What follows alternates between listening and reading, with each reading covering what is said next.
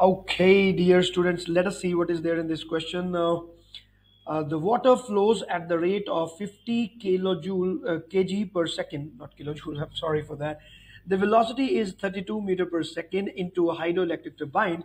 If the power output of the turbine is 20 kilowatt, what is its efficiency? My dear students, this is a very typical question, I would say. It pertains to the motion of a fluid and we have different formulations for this. So this kind of particular questions become very, very important for us because this theory is not present in our books. So that is why this becomes important and I'm going to tell you the background theory for this also. So what is happening here is like there is a conduit here or there is a tube we can say and there is this uh, big fan here so this is uh, basically turbine. This is how we show it. So the wind is flowing here or the fluid is flowing like the water is flowing with the velocity V and the cross-sectional area here is capital A. So the density of the fluid is also given as uh, rho.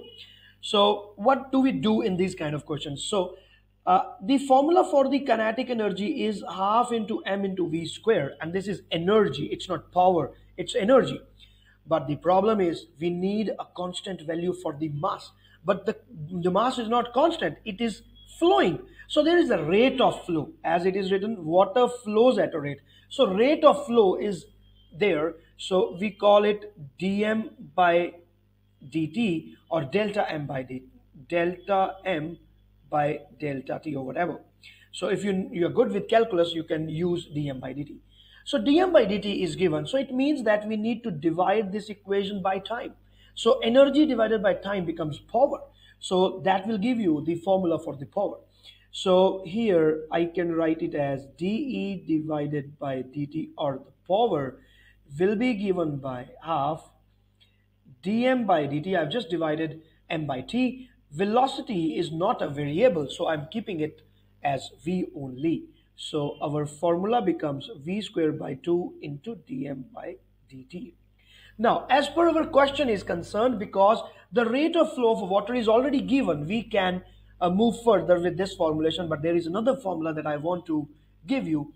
And what is that? So this formula becomes so dm by dt has a certain value that is rho av half into rho into A into V square, where rho is the density of the fluid, V is the velocity with which the fluid is flowing. So this is a very important formula, dear students. You have to remember this. I have solved some questions which have been asked by IB previous years in which this formulation is used, but this is not present in any of our topic in the book. So that is why you need to note this thing okay? So now i am coming back to our question. I am going to use this formula now.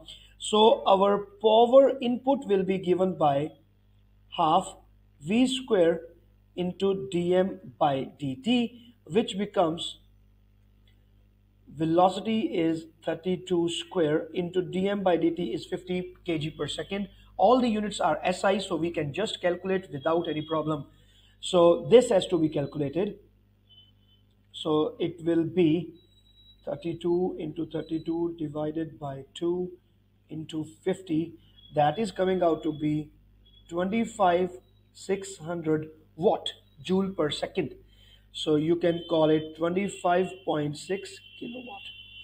But the power output as given in the question is 20. So what is the efficiency? Now we know the efficiency formula is power output divided by power input into 100 and that is what we are supposed to find.